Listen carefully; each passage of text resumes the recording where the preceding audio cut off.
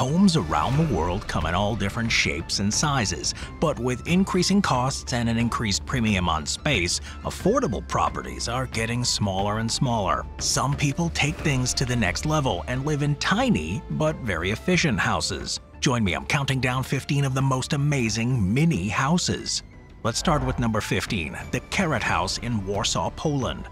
The Keret House, which is in Poland, currently holds the record for being the narrowest house in the world. It's squeezed between two existing buildings in the city's Wola district. It occupies a previously unused space and measures just 36 inches or 92 centimeters at its narrowest point, and about 60 inches or about 152 centimeters at the widest. The house has two floors. It was completed in 2012, and though it's incredibly small, it is fully functional, with a bedroom, bathroom, kitchen, and a living area. Natural light filters through the skylights, giving the space a bit of an airy feel, which further helps to make it feel more spacious than it really is. The project was inspired by the contrast between Warsaw's old and new architectural styles, particularly in that district, where modern buildings often stand next to much older, war-scarred structures. The house's name comes from Israeli writer and filmmaker Etgar Keret, who is known for his surreal and compact stories, and who was the first to live there. Number 14. Vipp Shelter in Sweden the Vipp shelter, which is in Sweden, was designed by the Danish design company Vipp, and it's a prefabricated steel-clad cabin that offers a modern retreat in the middle of nature. Envisioned as a sort of plug-and-play hideaway, the shelter requires no construction process on site as it arrives fully assembled and ready to be placed anywhere you want. Measuring just 590 square feet or 55 square meters, the Vipp shelter is compact, but it still feels pretty spacious because of a smart layout and thoughtful design. There is extensive use of glass, such as large floor-to-ceiling windows that stretch across the front and side walls of the shelter, and this offers unobstructed views of the natural landscape. Whether placed by a lake, in a forest, or on a mountainside, this shelter allows people to feel fully immersed in their surroundings. The space is divided into two levels, a living area on the ground floor, complete with a small kitchen, dining space, and bathroom, and a bedroom area that's accessible by a ladder. The interiors are designed with darker tones, particularly in the kitchen, to create a cozy, intimate atmosphere, and that has a very different feel compared to the brightness of the outdoor views. The philosophy behind the Vipp shelter is deeply rooted in the Scandinavian tradition of functionalism, where every element serves a purpose and there's no excess. This applies even to the choice of materials, with the steel frame and exterior panels offering durability and longevity, ensuring that the shelter can withstand the elements and remain low maintenance. This design eliminates distractions and it encourages a focus on nature, tranquility, and simplicity.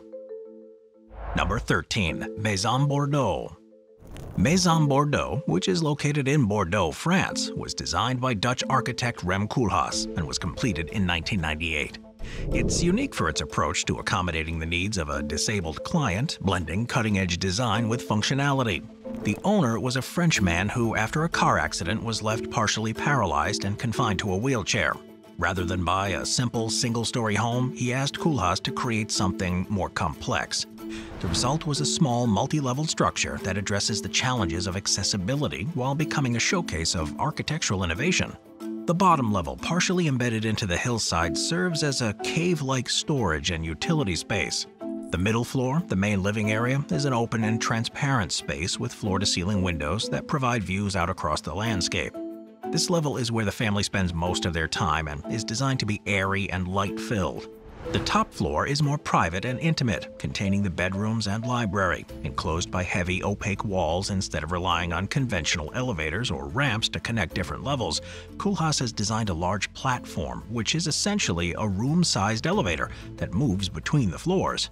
This platform functions as both an elevator and the owner's office, allowing him to move freely and effortlessly between the house's levels. Across the house, the use of raw concrete, glass, and steel gives it a modern industrial aesthetic, which in many ways hides just how personally tailored and functional the property really is. Number 12. The Glass House, California the Glass House, located on Cemetery Point along the stunning Sonoma coast in California, was designed by world-renowned architect Richard Clements Jr., who also owned the Timber Cove Inn. Known for his ability to harmonize built structures with their natural surroundings, this house is on a site of over three acres of beautifully landscaped property. But the property is itself surprisingly small. Perched on an outcrop that juts 300 feet or 91 meters into the Pacific Ocean, this glass house offers incredible views of the coastline. The location itself, Cemetery Point, was named by famed photographer Ansel Adams, who captured the beauty of the area. And to reach it, you've got to pass through a private gate and down a path that winds through heather and gardens. From there, a narrow piece of land leads down to the house, which is surrounded by cliffs that drop dramatically into the crashing surf below. It is arguably one of the best positioned homes in the country, but it wouldn't be possible to make it any bigger. The glass house has just one bedroom and one bath, but was never intended for resale. A recent remodel added three decks to the structure, including a custom stone hot tub that's so close to the ocean that the salt spray can reach it. The views here are like nothing else, with floor-to-ceiling glass walls granting panoramas of crashing waves, whales, seals, and seabirds. A massive fireplace is the focal point of this cozy lower living room, and this enhances the warmth and intimacy of the space, even as the glass walls provide a connection to the nature outside. Richard Clement Jr.'s design was heavily influenced by Frank Lloyd Wright's organic architecture, and this influence is clearly seen in the way that the house interacts with the environment. The structure seems to blend into the surroundings, making the most of its position here on the rock. But despite its minimalist, nature-focused design, the house offers every modern comfort, meaning that it's the ideal place for a retreat to take a break from modern life. Number 11. The Water Nest 100 in Italy the Water Nest 100 is an attempt at eco-friendly architecture, which was designed by the renowned architect Giancarlo Zema for the Italian company EcoFloLife. It is an innovative floating residence that combines sustainability and contemporary design to create an environmentally conscious living space on the water. It is essentially a circular pod-like structure that's made from recycled and sustainable materials and was designed to have minimal impact on the environment while offering all the comforts of modern living. It covers an area just over a thousand square feet, or about 100 square meters. It's designed to float on calm waters such as lakes, rivers, and bays, and its circular shape makes the best use of space, a 360-degree view of the surrounding environment, and the house is made primarily from recycled laminated timber and a recycled aluminum hull, with large windows to allow natural light to flood in. There is, of course, a huge focus on sustainability with the design. The house is energy efficient and completely self-sustaining, with all its power being provided by photovoltaic panels embedded onto the roof, which generate renewable energy from the sun. These panels can generate up to 4 kilowatts of energy, which is more than enough to power the entire home. And beyond this, the house also uses a sophisticated water recycling system to minimize waste and reliance on external resources. It is a modern and stylish living space. The layout here is flexible and customizable, usually including a large living area, kitchen, dining space, two bedrooms, and a bath. The open plan design ensures that the home feels spacious despite the compact size. It is the perfect example of how a small house can provide all you'll ever need and can be installed in a place where no other homes can be placed. With novel ideas like these, the Waternest 100 could well provide a glimpse into what the new homes of the future will be like, especially as we're forced to build more on sites that previously weren't suitable for normal homes. Number 10. The Wikkelhouse, Netherlands the Wikkelhouse in the Netherlands was developed by the Dutch company Fiction Factory as an eco-friendly and modular tiny house that's mostly made from recycled cardboard. The name comes from the Dutch word wikkelen, which means to wrap, which hints at its unusual construction method, as it's made by wrapping 24 layers of high-quality, durable cardboard around a mold to form a strong and insulated structure.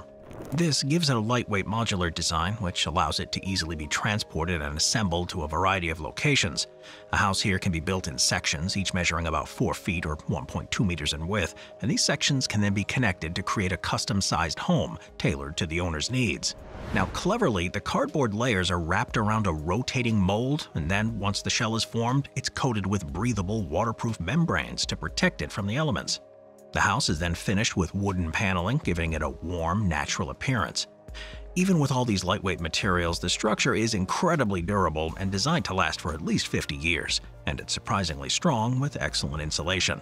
Now, the cardboard that they used is sourced from FSC-certified forests, ensuring that the materials are responsibly harvested. The production process itself uses fewer resources than traditional construction methods, and because this house is so lightweight, it doesn't require a permanent foundation, this makes it possible to install the house in sensitive natural environments without really damaging the landscape. Inside, it features a minimalist, modern design. The interior is pretty simple, yet functional, with a focus on natural materials such as wood, which complements the house's cardboard structure. All this results in an incredibly versatile building that can function as a weekend retreat, an office, a guest house, or even a full-time residence for those who want a minimalist and sustainable lifestyle. Number 9. The Cube Project in Oxford the Cube project, which is based in Oxford in the UK, is a sustainable housing concept that looks like it's going to reimagine the way we all approach small space living. Designed by Dr. Mike Page, the Cube project focuses on creating highly efficient, eco-friendly homes within a compact footprint. They were first unveiled in 2011, and the project was developed as a response to growing concerns about energy consumption, urban sprawl, and the environmental impact of traditional building. The cube is a micro home that measures just under 10 feet or 3 meters in all directions, and with just under 1,000 cubic feet or 27 cubic meters of space in total, it's designed to house one person or a couple comfortably, offering all the features of a typical home in a much smaller footprint. Inside, it's got a living area, sleeping space, kitchen, and bathroom. The clever use of space and multifunctional furniture allows for each area to serve multiple purposes. For example, the living room doubles as a workspace, and the bed can fold up into the wall, making the most of the space during the day. The Cube is designed to be zero carbon in operation, meaning that it produces as much energy as it consumes, largely through the use of renewable energy. Solar panels on the roof generate electricity, while high-efficiency insulation and triple-glazed windows help to minimize any heat loss. It also includes a rainwater harvesting system and a composting toilet, further reducing its environmental impact. The walls, floors, and roof are all heavily insulated to reduce any heat loss, and while the home's compact size ensures that it requires far less energy to heat and cool than a traditional house would, even the appliances within the cube are chosen for their energy efficiency, with low-power LED lighting and energy-saving kitchen devices used throughout. But one of the key aspects of this project aims to show that it is possible to live sustainably without spending a fortune or sacrificing comfort. The Cube is designed to be relatively inexpensive to construct and maintain, making it an attractive option for those looking for an affordable, environmentally friendly house. Number 8. The Huga House in Argentina the Huga House is a concept in modular housing that combines simplicity, strength, and sustainability in a portable design. Created by the Argentine company Grandio, the Huga House was conceived as an option for those looking for a flexible, modern, and eco-friendly living space. The name Huga comes from the Danish word hygge, which translates to mean comfort, coziness, and well-being, which is the atmosphere that the house is trying to go for. It's made primarily from reinforced concrete. The house is designed to be strong and resilient, withstanding extreme weather conditions, including earthquakes, which makes it ideal for areas prone to natural disasters. This construction gives the house a sense of security while maintaining a minimalist and modern aesthetic. Despite the solid exterior though, this house is surprisingly light for a concrete structure, allowing it to be transported on a truck and installed in just one day with no need for a foundation. The house has a compact footprint, measuring just 484 square feet or 45 square meters, but the design makes the best use of all the available space, creating a comfortable and functional living environment. Inside, the house has an open plan with a living room, kitchen, dining area, bathroom, and bedroom, all arranged to provide plenty of space for one or two people. The large curved front window and skylights bring in plenty of natural light, making the interior feel a bit bright and spacious. It's also designed to operate with minimal environmental impact using high-efficiency insulation to reduce any energy consumption, and it's equipped with energy-saving systems such as LED lights that can be fitted with solar panels, allowing it to operate off-grid. But possibly the best thing about the Huga house though is its portability and you aren't stuck in the same place once it's built like with traditional homes. The house can be installed in a variety of locations, from remote rural areas to urban environments with little site prep required. And then it can be easily moved to a new location if needed and ready to live in within just 24 hours. Moving on to number 7, the Koda House in Estonia. The Koda House is another eco-friendly prefabricated home that was created by the Estonian design firm Kodasema. Launched in 2016, it's part of a growing movement towards compact, sustainable, and flexible housing designs that challenge traditional ideas. With around 268 square feet or 25 square meters of floor space, Koda House may seem small, but its layout ensures that it feels functional and spacious. The interior includes a living area, kitchenette, bathroom, and mezzanine bedroom with a design that maximizes the available space through efficient use of vertical elements, large windows, and a flexible open-plan layout. The use of natural light is an important feature of the house, with large glass walls on the front allowing sunlight into the interior, creating a bright and welcoming atmosphere. The entire structure is prefabricated in a factory, and it can be transported to a site on a truck. Once delivered, it can be set up and ready to live in within a day thanks to its plug-and-play design. This flexibility makes the Koda house ideal for urban environments where space is at a premium or for temporary living solutions such as pop-up hotels, student housing, or even disaster relief shelters. It's designed to be energy efficient with thick insulation, triple glazed windows, and the option to install solar panels on the roof if needed, all features that help to reduce its energy consumption making it a low-cost and eco-friendly option for homeowners. As for the way that it looks, the creators describe it as minimalist modernism. The exterior is sleek and boxy, with clean lines and monochromatic colors that blend into various environments, whether in a city or in the countryside. Since launching, there's been a lot of interest in this design, perhaps not so much for a permanent home, but the potential to help with global housing challenges. With urban populations growing and the demand for affordable, sustainable housing increasing, modular homes like this one offer a flexible and environmentally conscious solution, particularly in the short term, when there's a pressing need to accommodate large numbers of people.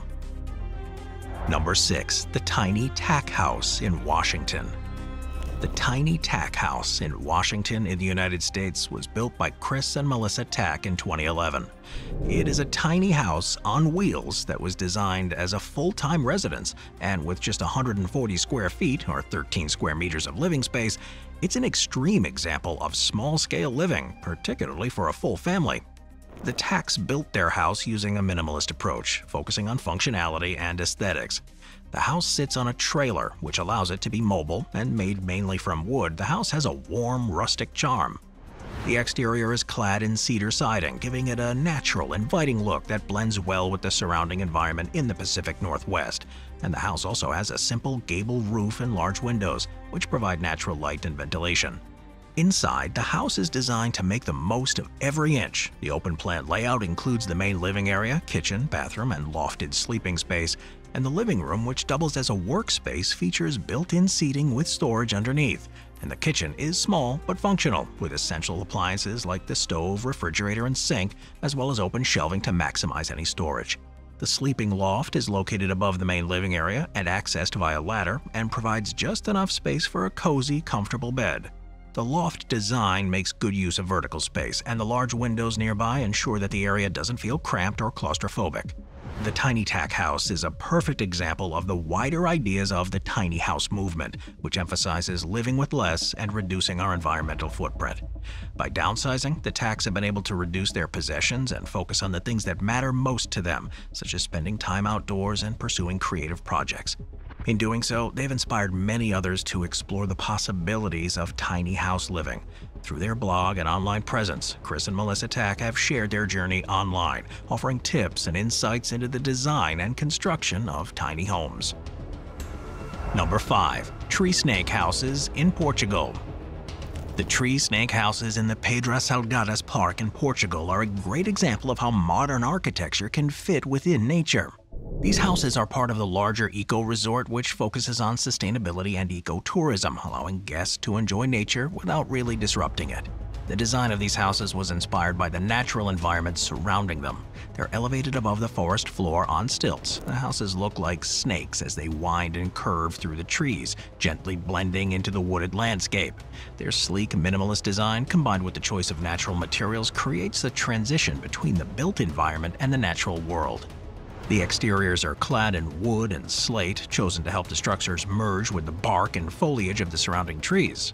And the houses are compact, but they're pretty luxurious and designed to provide all the comforts of modern living while maintaining a minimal environmental footprint. Each house has around 269 square feet or about 25 square meters of space and includes a small living area, kitchenette, bathroom, and a bedroom that offers views out across the forest. The use of glass walls here, particularly in the bedroom, creates a sense of being immersed in the forest, making it feel as though the trees are part of the living space. The use of insulation and natural ventilation here helps regulate the temperature inside the houses, reducing the need for any artificial heating or cooling. And also the houses are elevated on stilts, meaning they don't require any extensive foundation work. But beyond their unusual appearance and environmental appeal, the Tree Snake houses offer a unique experience for any guests. The park's natural springs, hiking trails, and serene atmosphere make it a popular destination for any eco-tourists and those seeking for a peaceful escape from urban environments. Number 4. The Tricycle House in Beijing, China the Tricycle House in Beijing is a portable tiny home that pushes the boundaries of urban living and space efficiency. Designed by the firm People's Architecture Office, this house was conceived as a solution to China's increasingly dense urban environments. The concept of this house is inspired by Beijing's long history of tricycle transportation, often used by vendors and delivery services in the city. The house is designed to be lightweight and small enough to fit on a standard three-wheeled bicycle, which allows it to be moved freely throughout the city. This mobility makes this house an interesting solution for people facing issues of limited space or transient living situations in China's crowded urban areas. The house is made mainly from lightweight polypropylene plastic, which was chosen for its durability and affordability. This plastic is folded into a series of panels that can be expanded or contracted depending on the situation. But when folded up, the house is small and compact, but when fully extended, it offers a surprising amount of living space. The house includes a bed, seating, a table, a small little kitchen area, and storage space. But despite the small design, it makes the best use of space, allowing for a variety of functions to be carried out in this compact living area. Perhaps surprisingly, the polypropylene plastic is recyclable, and the house itself is designed to operate off-grid. A small fold-out sink allows for basic hygiene and washing, with water stored in a tank underneath the tricycle. Solar panels can be attached to the roof to provide electricity, reducing the need for any external power sources, and this off-grid capability makes this house an attractive option for those not wanting to have to connect to municipal provisions. It's probably, though, not a concept that'll catch on in many places around the world, but it is an interesting example of an extreme miniature house that can be taken with you wherever you go. Some of the ideas behind it could well be incorporated into other designs that one day could well become the way that a large number of people live. Number 3. Floating Seahorse Villas in Dubai not all small houses are necessarily cheap, and if you have a spare few million bucks, you could buy one of the floating seahorse villas in Dubai, which are modern floating structures. Developed as part of the Heart of Europe project on the World Islands, the floating seahorse villas offer a one-of-a-kind living experience, combining underwater and above-water living spaces. These villas are located in the Arabian Gulf, just off the coast of Dubai, and features both an underwater and above-water section. Each villa spans three levels, one submerged under and one at sea level and one at an upper deck. This multi-level creates a stunning experience, with residents able to enjoy amazing views as well as the serenity of living on the water. The design gives occupants the feeling of living inside of an aquarium, with fish, corals, and other marine life visible right outside the windows. The underwater level is, of course, the main draw of these floating seahorse villas, offering a connection to marine life and an immersive experience. Large windows and sliding glass doors offer uninterrupted views of the sea, creating a connection between the indoor and outdoor spaces. The deck allows residents to step directly into the surrounding waters, making activities like swimming or paddleboarding easily accessible. On the upper deck, the villa offers additional living space and a private rooftop lounge. This area includes a jacuzzi, sun loungers, and an outdoor living space, providing a perfect spot for relaxation. The upper deck is designed to offer privacy and a sense of escape, making it a great place for unwinding and soaking in the beauty of the Arabian Gulf. The villas are built with cutting-edge materials and technologies that ensure they're both durable and luxurious. They're designed to withstand the harsh marine environment, ensuring that the structures remain resilient to the elements, while also offering high-end finishes and state-of-the-art features. Number 2. Tin Dragon Cottages in Australia the Tin Dragon Cottages in the scenic northeast of Tasmania in Australia are a collection of eco-friendly accommodations that offer guests a unique escape into nature. Named after the historical Chinese tin miners who lived in the region during the late 19th century, these cottages blend history, sustainability, and the stunning Tasmanian landscape into a one-of-a-kind experience. Each cottage is constructed with sustainability in mind, reflecting the owner's commitment to preserving the pristine environment around them. The use of recycled materials and energy-efficient systems plays a significant role in reducing the cottage's footprint. Solar panels provide a renewable energy for heating and electricity, while rainwater harvesting systems ensure a self-sufficient water supply. The cottages are built with a rustic charm, featuring natural materials such as timber and stone, which blend in with the surrounding landscape. The design of these cottages draws inspiration from the historical tin mining heritage of the region, with simple architecture that's in line with the practical, humble dwellings of the Chinese miners who once lived here. Each cottage offers amazing views of the surrounding countryside with large windows and outdoor decks that allow guests to fully appreciate the natural beauty of Tasmania. The Ringarooma River, which runs alongside, is an incredible backdrop, and guests can enjoy the sounds of the water while relaxing on their private decks. These Tin Dragon cottages are a fascinating connection with Tasmania's history. The property includes interpretive signage and walking trails that highlights the stories of the Chinese miners who worked and lived in the region during the tin boom. And the area is known for its scenic hiking trails, waterfalls, and pristine rivers. The nearby Blue Tier and Mount Victoria Forest Reserve offer opportunities for bushwalking and mountain biking, while the picturesque Bridestowe Lavender Estate and the Bay of Fires, known for its orange rocks and pristine beaches, are within driving distance. Number 1. The One Square Meter House in Berlin, Germany. The one square meter house is a thought-provoking and minimalist architectural concept that was created in order to challenge conventional ideas of what a home is or should be. Designed by architect and artist Van Bo Le this tiny house is exactly what its name suggests, a home that occupies just under one square meter of space, which is the equivalent of just under 11 square feet. While despite its extremely small size, the project has attracted international attention for its innovation, portability, and the underlying commentary on housing, affordability, particularly in urban areas. The idea behind the house was to create a structure that could provide shelter, privacy, and a sense of ownership, even in the most crowded urban environments. The compact size also made a statement about how much or how little space a person really needs to live at just 3.3 feet or a meter wide and long and 6.6 feet or 2 meters tall. The house can be used as a temporary shelter, a workspace, or even a private retreat in a public area.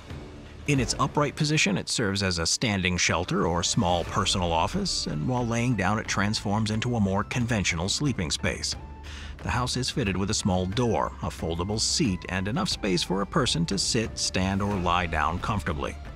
While minimalist in design, the one square meter house tackles a range of modern issues, particularly those related to housing crises in urban centers. As cities become more crowded and affordable housing becomes increasingly scarce, which it is, the concept of micro-housing has gained some attention. Le-Mentzel designed the house to be DIY friendly, meaning anyone with basic tools and materials could construct one for themselves.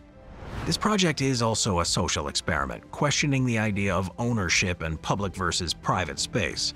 Le-Mentzel encouraged people to take their one square meter houses to public spaces such as parks, streets, or even public squares as a way of claiming personal space in an increasingly crowded world.